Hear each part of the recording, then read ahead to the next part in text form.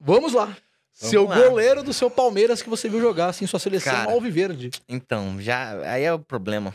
Porque aí já, já o goleiro já é um problema.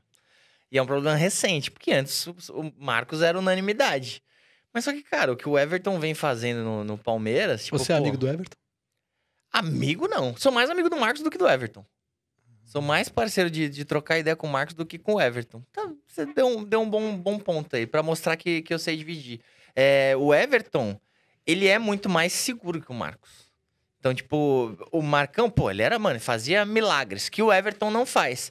Mas porque o Everton tá sempre ali, mano, ele faz o, o- o- a técnica dele é muito boa. E o próprio Marcos já falou pra mim que ele fala, cara, o que o Everton faz com o pé, o que o Everton faz. Se eu jogasse hoje no Palmeiras, não seria nem o terceiro goleiro. Ele mesmo fala isso. Então, Mas concordarei. o Marcos é muito humilde. É, ele não, jamais mas aí ele tá falaria. É característica do Marcão. Ele jamais falaria, eu seria título. O Marcão tem uma Copa do Mundo, Fred, meu amigo. Tem uma Copa do Mundo, obviamente. O Everton tem uma medalha de ouro inédita aí também. E pode ter uma Copa do Mundo também muito em breve. E aí, então, será que esse é o, é o grande Vai diferença? ser ali? titular agora que o Alisson faz gol de cabeça. é verdade. Agora Cria tá tirando. Pô, o cara pega pra caramba, é bonito e faz gol de cabeça. não aí é qualquer gol, é realmente com tá- estilo. Você subiu com. Pô, que homem. Mano, será que o... Porque, pô, se tem um momento pro Everton ser titular da seleção brasileira, é agora, né? Porque o Palmeiras atravessa um momento mágico. Eu acho que ele tá catando muito. Ele, Mas aí eu ele- acho que ele viu o gol do Alisson. Será que ele pensou assim, cara? Tipo, puta, mano, aí tá tirando, né? Aí não dá, Não aí não tem o que fazer. Próximo jogo do Né? Palmeiras, Pô. você vê o Everton correndo pra do nada. tipo, 3x0 pro Palmeiras. Ele o precisa. português óculos no banco, volta, volta. Cara. Precisa ser titular. No banco não tá legal. Mas, cara, é que tá. Sou mais amigo do Marcos, mas vou colocar o, o Everton porque eu acho que ele, ele já igualou o Marcos em números de conquistas pelo, pelo Palmeiras. Não igualou na, na seleção, mas como eu tô escalando o Palmeiras de todos os tempos, então vou concordar com o próprio São Marcos e vou colocar o Everton porque realmente ele participou da. Ele participou e foi muito importante na principal temporada da história do Palmeiras. Então, pô, eu, como palmeirense que já sofri tanto na minha vida, é, torcendo pro Palmeiras, ter o privilégio de acompanhar uma temporada que a gente é campeão paulista em cima do nosso maior rival. É, é campeão da Copa do Brasil de um dos grandes rivais, que é o Grêmio, e campeão da Libertadores em cima do Santos, que é um dos nossos principais rivais. É, realmente é algo mágico, então vou, vou colocar o Everton aí, fora que ele já tem um brasileiro nas costas também. Tem, enfim, tem, tem outros títulos aí pelo, pelo Palmeiras, então vai doer em algumas pessoas? Vai, mas estou sendo O realista. eu lugar de fala dos discípulos de São Marcos será afetado nesse momento. E, e, cara, você falou que fala demais. Olha só o tempo que eu demorei pra falar do goleiro. então, prometo que os próximos eu vou acelerar. Então, eu, eu acredito que pela escalação e pelo tempo do goleiro, é, nesse momento, o Torcida Podcast vira inteligência limitada e vai pra 5 horas de podcast. Mas vamos lá. Lateral direito, camisa. Lateral direito, eu vou de Arce. Arce. Arce, porque o Cafu eu vi muito pouco ele jogar no Palmeiras. Então todo mundo fala muito. Da, pô, eu lembro ali de, de 96 e tal. Mas o Arce era o que mais me impactava, assim. Porque, mano, os cruzamentos dele, os pênaltis, assim, uma das grandes, grandes decepções da minha vida foi quando o Arce perdeu um pênalti, que eu achei que isso não existia. Falei, não, o Arce não perde pênalti nunca. Ele bateu uma bola no travessão e no chão, no, no Boca, eu acho que foi na, na semifinal de 2001. Aí eu falei ali, hum... Ali foi quando começou toda a zica do Palmeiras, cara. A gente foi campeão 9-9, perdemos a final em 2000, aí perdemos a semi em 2001, se eu não me engano. Minha memória não é tão boa assim. E aí foi com um pênalti perdido do Arce. Ali virou uma chave? virou a a chave. zica chegou, Pô, 2002 a gente caiu, e aí foi só desgraça, mano. Um pênalti que- do Arce virou a chave. Que loucura. Não, óbvio que não, mas é... Não, não, é eu, óbvio Eu que lembro sim. que a, Temos, vamos sustentar essa momento. teoria até chegar no Arce. que Eu quero ver o Arce mal. Porque ele me fez sofrer muito. Como cada cruzamento era um frio na espinha. É, cara. Quando ele descia pô. pela lateralzinha, eu falei, ih, mano, tomamos o gol. É, é um dos caras que eu tenho muita vontade de tirar uma foto, o Arce, cara. Ele era me impactava mesmo, porque eu sempre. Ele nem deve morar aqui, né? Deve morar não, ele é lá. técnico do Cerro Portenho hoje. Então, tava aqui em Minas Gerais esses dias aí jogando contra o Galo. É, mas o Arce, eu sempre pirei muito nessa parada de bater na bola, de chute forte, de chute preciso, e eu sempre brisei muito no, no, no, no Arce. Na zaga, Seu back central, seu meu camisa back 3. central, ah, meu camisa 3 é o Júnior Baiano, velho. Júnior Baiano. Júnior Baiano, porque, cara, gostava do jeito aguerrido que, que ele Batia era no Edmundo, ali. Não. batia uma galera. No Edmundo, não sei se ele bateu, mas ele, mas ele batia falta também. Então, vou, vou de, vou de Júnior Baiano. Cara, o outro zagueiro, cara. Precisa de um quarto zagueiro aí. Vou te falar que o Gustavo Gomes vem beliscando meu coração fortemente aí, hein? Quem que você teria dúvida quanto a Gustavo Gomes e quem? E o Clebão, velho. Clebão, ele é O simbólico. Clebão, mano, eu até é pela isso. saída da fila e tudo. É isso, ele, Ele é, é muito, muito simbólico, simbólico. também. Então, eu acho que ali casaria mais a dupla Clebão e Júnior Baiano. Então, vou de, vou de Clebão e Júnior Baiano. Eita, que Gustavo. Nem chamando pra levantar a taça. Teve lugar É verdade. Então, tá, time, tá hein? vendo? Olha lá, tá vendo como eu sei dividir não o negócio? Ah, Mas eu acho que... técnico assim, Fred não vai pelo. Não, mas eu, eu acho que ele vai conquistar muito mais coisas que o Kleber no Palmeiras. Então pode ser que quando chegar. É porque assim, existe. O ser humano ele é saudosista, né? Então ele dá muito mais valor para as coisas que passaram do que para as coisas do momento. Então, quando o Gustavo Gomes encerrar a carreira dele, todo mundo vai lembrar: nossa, Gustavo Gomes, ai, isso que era zagueiro. Então, hoje a galera acaba não, não valorizando tanto. É, na lateral É, esquerda, Não, né, de volante, Felipe Melo. Já foi Roberto Carlos. Você vai querer falar sobre o assunto? Diogo Barbosa, meu parceiro. Robertão mesmo? Cara, por incrível que pareça, eu vi pouco o Roberto Carlos. Assim, num todo, mas é óbvio que é o Roberto Carlos por ter sido o maior lateral es- esquerdo da história. E a gente ter tido a felicidade do Roberto Carlos ter sido o maior lateral da es- esquerda da história e ter jogado no nosso, nosso time, ter começado quase no nosso time depois do, do União São João de Araras. Mas encerra brilhantemente no Corinthians a carreira dele. Mano, ele foi bem, cara. Eu, go- eu amava ver o Roberto Carlos jogar no Corinthians. Eu Se eu amava tiver que montar ver. uma escalação, se eu tiver que fazer a minha seleção do Corinthians, vai me dar um nó por isso. Porque a identificação dele com vocês é muito grande. Mas ele foi muito bem com a gente e ele era um monstro. É, mano, ele, pô, é outro nível totalmente. Aquele gol de três dedos que ele faz no, no escanteio é bizarro. Ele quase foi o melhor jogador do mundo como lateral esquerdo. Eu quero ver É alguém isso, conseguir essa façanha. É isso. Mais de lateral esquerdo no Palmeiras, o Júnior, cara. Eu acompanhei muito mais. Por muitos, muito mais anos, entendeu? Então, tipo, então o Roberto Carlos eu peguei um período muito curto ali. A Libertadores que o Marcelinho perde o pênalti contra vocês, ela é muito simbólica pra você?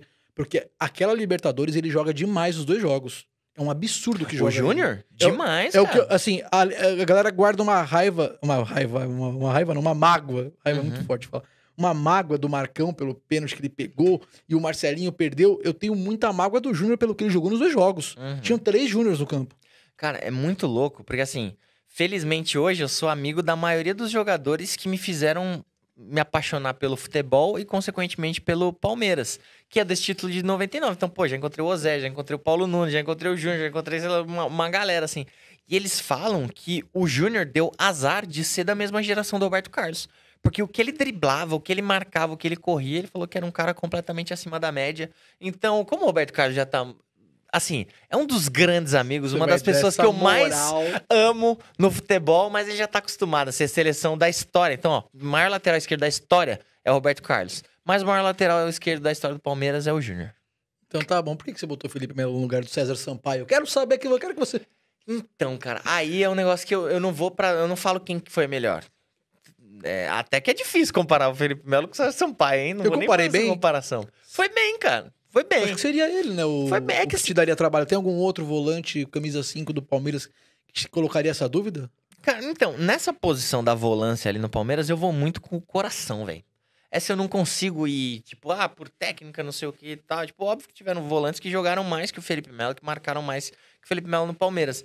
Mas é o cara que eu mais me identifico, mano. É um cara que eu sempre quis que viesse pro meu time, entendeu? Pela, pelo jeito aguerrido dele, pelo jeito que ele defende a parada mesmo, tá ligado? Independente de ser o Palmeiras, se tivesse ido. Mano, se tivesse ido pro Corinthians, nossa, ia ser um deus, ia ter uma estátua dele lá. Se tivesse ido pro São Paulo, pro Flamengo, putz, mano, iam amar ele em qualquer, qualquer clube. Mas é aquela coisa, como ele não tá no seu time, todo mundo odeia. Então por isso que causa muito isso. Então, mano, a real é que todo mundo queria ter o Felipe Melo no, no seu time. Então, o jeito que o Felipe Melo defende a camisa. E até por algumas conversas que eu já tive com ele, sabe? Tipo, das ambições dele dentro do Palmeiras, eu falo, mano, esse cara me representa, tipo, mano, eu queria saber jogar igual esse cara, queria defender eh, esse manto que eu tanto amo como esse cara sabe defender. Então eu vou de Felipe Melo. E um outro que mexe muito com o meu coração é o Assunção, velho.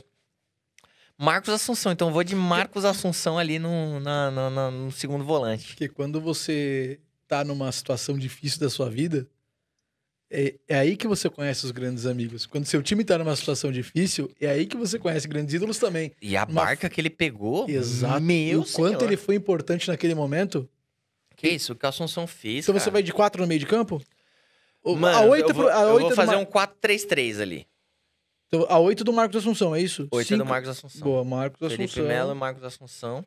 Marcos Assunção aqui. Mas eu, eu sei que eu vou me lascar uma hora aí, hein? Então, agora você tá com a camisa 10 na mão, você tem que dar ela pra alguém.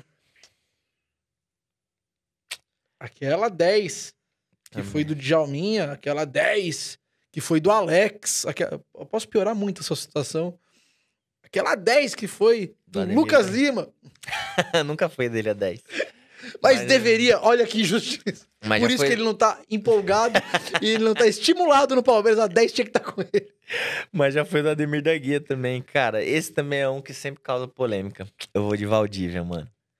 Puta, e eu vou te falar um negócio que eu falei aqui no, no próprio Torcida Podcast. Pra quem que eu falei? Pro Márcio Donato, eu acho que é palmeirense, veio aqui. O... Aquele ano do Valdívia, o ano que vocês caem, era um ano que eu fazia muito torcida do Palmeiras pela rádio. Uhum. E eu acompanhei muito o Valdívia de perto. E o Valdívia, ele é o jogador que ele, ele não é diferente só porque a técnica dele é muito é muito diferenciada, não é porque ele é muito habilidoso, não é isso. Aham. Ele tá um passo à frente de quem tá no campo.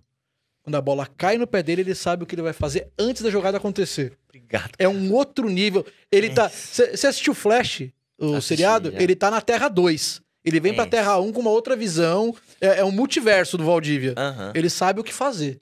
É isso, cara. Mano, ele não corria, não treinava, tomava uma que só. Eu olhar. Então, isso E- explica e, muita mano, coisa. E deitava nos caras. É óbvio que, mano, assim, o Valdívia, ele, pelos torcedores palmeirenses que eu conheço e converso, ele é uma relação muito de amor e ódio. Porque a gente sempre. Assim, ele veio, ninguém esperava nada do Valdívia.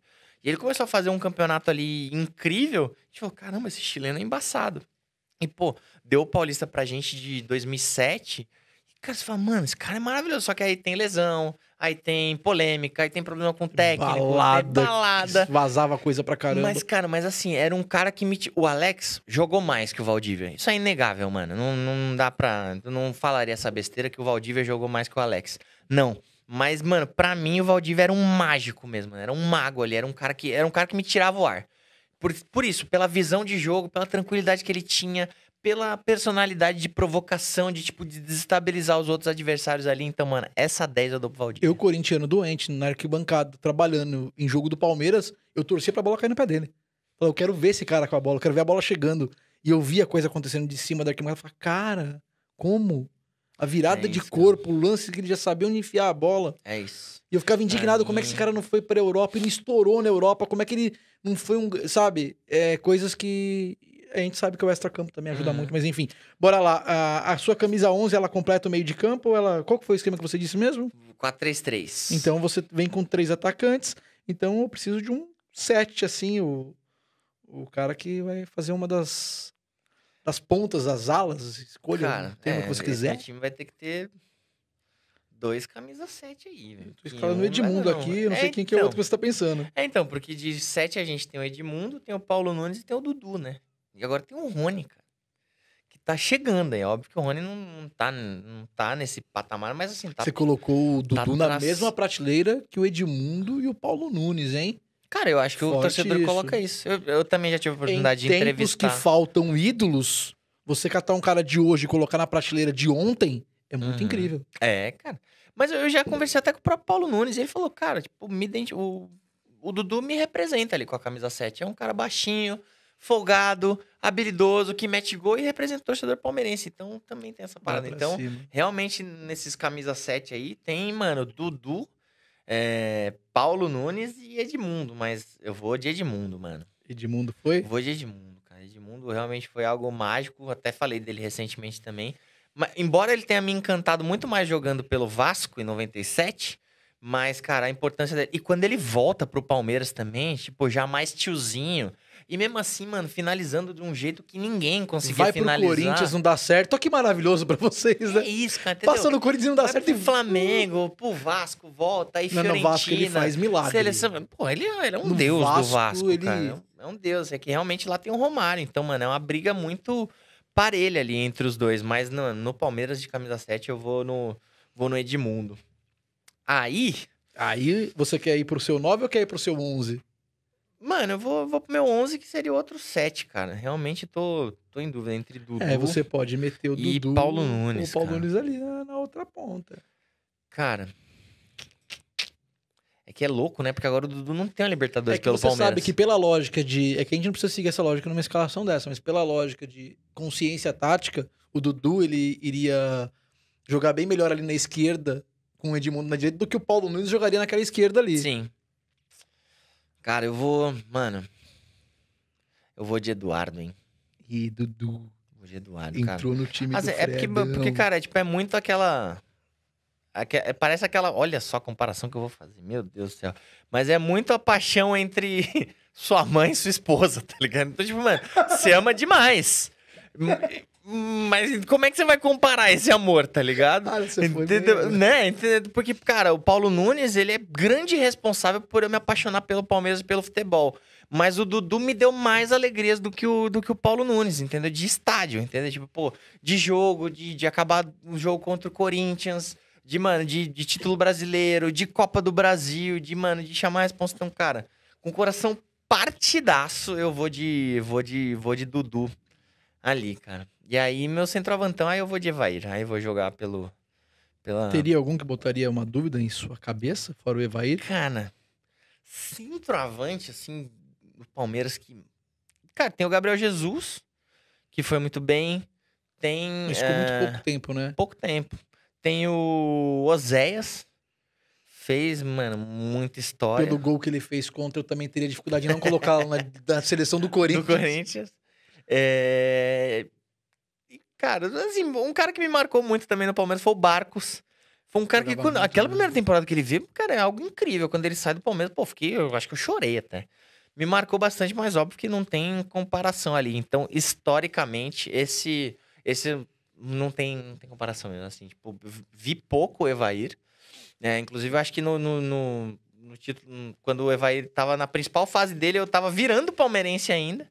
Mas não tem jeito. O Evair ali, como, como camisa 9, eu acho que é incontestável. Sofri muito ali. Sei do que você tá falando. Sofri muito É. ali. É isso. Pô, foi difícil, hein? Você falou do Arce batendo pênalti ali. Batendo pênalti era um negócio. Era embaçado. Ele fazia em 93 Era bonito ele. o que o Gabigol e o Neymar faz hoje, velho. Então, É então ele ia correndo olhando pra, pro goleiro. Quando o goleiro toma uma decisão, ele escolheu o canto. Então realmente já tava um passo à frente. E quem é o seu técnico? Ah, esse é fácil, é o mais fácil de todos. Luiz Felipe Scolari. Não tem nenhuma dúvida quanto ao... Tem o Lucha, Lucha. né? O Lucha é uma O primeiro Lucha, dúvida. né? É, então, até o próprio segundo Lucha, cara. Por ser campeão paulista, sabe? Tipo, pô, Você acha que ele foi injustiçado dessa última vez? cara, não. Assim, eu, eu naquele momento eu não tiraria ele. A impressão que eu tive é que o português pegou a coisa... muito azeitada por ele, entendeu? Então, Exato. tipo, então o Lucha ele abraçou um projeto ali Projeto. e ele executou de fato que, mano, que era pegar a galera da base e quem usufruiu muito foi o Abel. Se eu não me engano, até o próprio Abel deu, fez um agradecimento pro, pro Luxemburgo aquilo que ele fez, cara. Então, pe- pelo que ele fez, pelo trabalho que ele iniciou. Então, é óbvio que ele tem um espaço muito grande no nosso coração, mas realmente o Filipão, cara, é, nessa segunda vinda dele, ninguém esperava nada e fazer o que ele conseguiu fazer com, com o Palmeiras ali, brigando por, por vários títulos, realmente foi, foi, foi, foi muito marcante.